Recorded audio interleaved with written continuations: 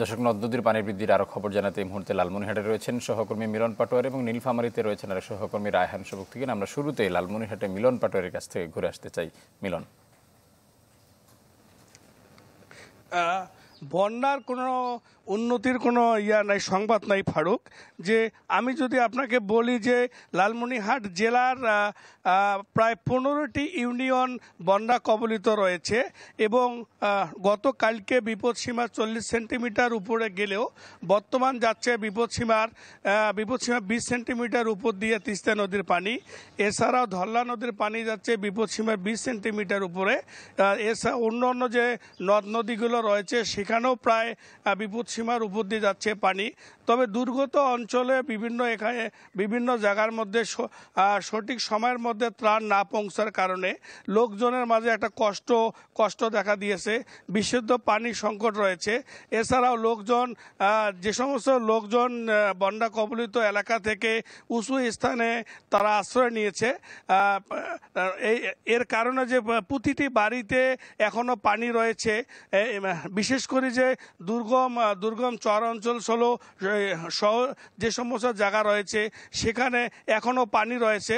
সরকারিভাবে লালমনিরহাট জেলায় আহ, লালমনিরহাট জেলায় বিশ থেকে বাইশ হাজার পরিবার বন্যা কবলিত অবস্থায় পড়েছে। তবে লালমনিরহাট আহ, জেলা প্রশাসনের পক্ষ থেকে আমাদের জানিয়েছে যে আজকে আজকে হয়তোবা সন্ধ্যার সন্ধ্যার কি বিকালের দিকে সাহায্য সহযোগিতা যাবে সরকারিভাবে। কিন্তু এই এই লোকজনের মাঝে এখনও এখনও পর্যন্ত না পৌঁছার কারণে বন্যা কবলিতা কবলিতিরা দুর্ভোগে রয়েছে। ফারুক এই ছিল লালমনিরহাট।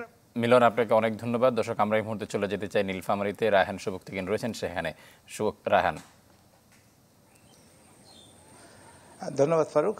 আমরা আমি রয়েছি হচ্ছে ছোট কাথা নামে একটা ডিমলা উপজেলার ছোট খাতা নামে একটা গ্রামে। এখানে এই গ্রামটি আসলে বন্যা আহ, কবলিত এবং আমি আপনি যদি আমাকে দেখেন দেখবেন যে আমি যে পানির মধ্যে দাঁড়িয়ে রয়েছে, এটা এই গ্রামটির কিন্তু প্রধান সড়ক। এই গ্রামের পিছন দিকেই একটা স্কুল রয়েছে। স্কুলের ওখানে স্রোতের কারণে আমরা যেতে পারছি না। আজকে যেমনটা মিলন বলছিলেন, আসলে বিশ সেন্টিমিটার উপর দিয়ে পানি প্রবাহিত হচ্ছে বিপদসীমার গত তিন দিন ধরেই কিন্তু বিপদসীমার উপরেই পানি রয়েছে। কখনো বাড়ছে, কখনো কমছে। এখানে হাইড্রোলজি বিভাগ, পানি উন্নয়ন বোর্ডের যে হাইড্রোলজি বিভাগ, তারা জানিয়েছে, ভারতের অংশের সঙ্গে তারা আসলে যোগাযোগ করছে। গতকাল বিকাল সাড়ে পাঁচটা নাগাদ শেষ তারা খবর পেয়েছে, সেখানে কিন্তু পানি বাড়ছিল। আজকে সারা রাতের কথা বলতে পারে না, তবে স্থানীয়রা বলছে যে বিকাল নাগাদ, গতকাল বিকাল নাগাদ কিন্তু এখানে, এখানেও পানি কমেছিল, কিন্তু তারপর থেকে বাড়তে থাকে। এখন বিশ সেন্টিমিটার উপরে দিয়ে বিপদসীমার উপর দিয়ে প্রবাহিত হচ্ছে, তার একটা ফলও পড়েছে। এই যে রাস্তাঘাট সব ডুবে গেছে, মানুষের বাড়িঘরের মধ্যে পানি ডুবে গেছে পানির নাম্বার কোনো নাম নেই। অনেকেই বলছেন যে, এই সমস্ত এলাকায় এই যে নিম্নাঞ্চল এলাকাগুলোতে রাস্তাঘাট অপরিকল্পিত বানানোর কারণে বিপদসীমা পানি নেমে গেলেও আসলে এক ধরনের জলবদ্ধতা তৈরি হবে, তার ভোগান্তি এই অঞ্চলের মানুষকে ভুগতেই হবে। এবার বানভাসী মানুষের, আমরা যদি বানভাসী মানুষের ত্রাণ তৎপরতার কথা বলি, তাদের উদ্ধার তৎপরতার কথা বলি, ডিমলা উপজেলা নির্বাহী কর্মকর্তা আমাকে জানিয়েছেন যে, গতকালকে এই অঞ্চলের বিভিন্ন চর থেকে কিন্তু মানুষকে উদ্ধার করে নিরাপদ স্থানে নিয়ে যাওয়া হয়েছে। যদিও এখানে একটি ইউনিয়নে ভোট চলবার কারণে চর কিসামত সেখান থেকে মানুষদের সরানো যাচ্ছিল না। এইসব রয়েছে। আর ত্রাণ তৎপরতা, গতকালকে তারা বিশ বিশ টনের মতন চাল এটি বিতরণ করেছে। শুকনো খাবার চারশো প্যাকেট তাদের কাছে রয়েছে।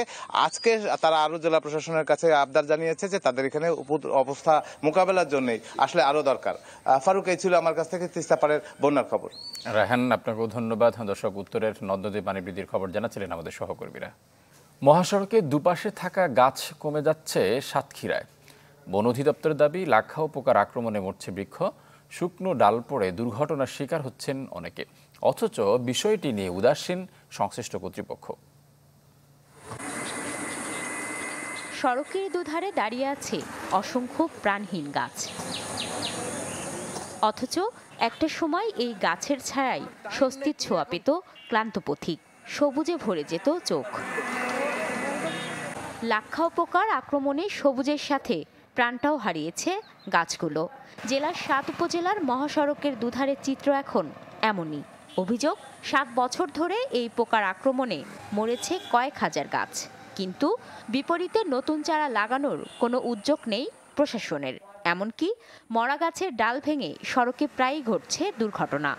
এই গাছগুলো রাস্তার পাশে এখন বিপদের ঝুঁকি হয়ে দাঁড়িয়েছে। বাতাস হলিক পার রাস্তার পরে বড় বড় ডাল ভেঙে পড়ি মানুষ মৃত্যুর সম্মুখীন হয়ে যাচ্ছে। এই মরা গাছগুলো আসলে দীর্ঘদিন ধরে আমরা দেখছি কিন্তু কর্তৃপক্ষের কোনো এটা নিয়ে কোনো মাথা ব্যথা নেই।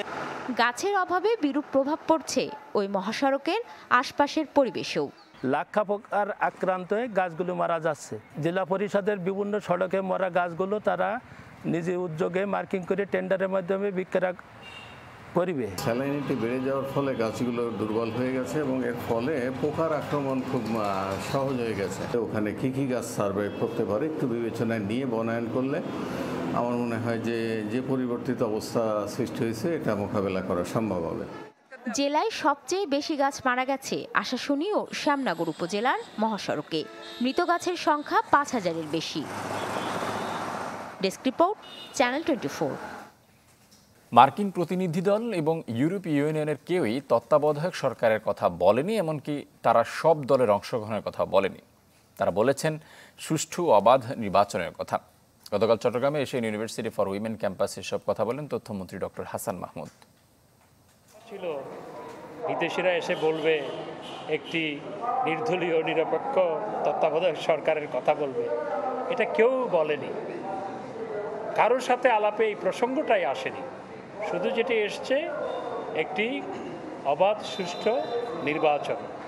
এমনকি সবার অন্তর্ভুক্তিমূলক নির্বাচন, সেই কথাটাও আসেনি। অবশ্যই আমরা চাই বিএনপি সহ সমস্ত রাজনৈতিক দল নির্বাচনে অংশগ্রহণ করুক। সবাইকে নিয়ে আমরা নির্বাচন করতে চাই। ইসলামী ব্যাংক বাংলাদেশ লিমিটেড দেশ টোয়েন্টি ফোর এই ছিল এখনকার মতো। আর এতক্ষণ সাথে থাকার জন্য ধন্যবাদ সবাইকে।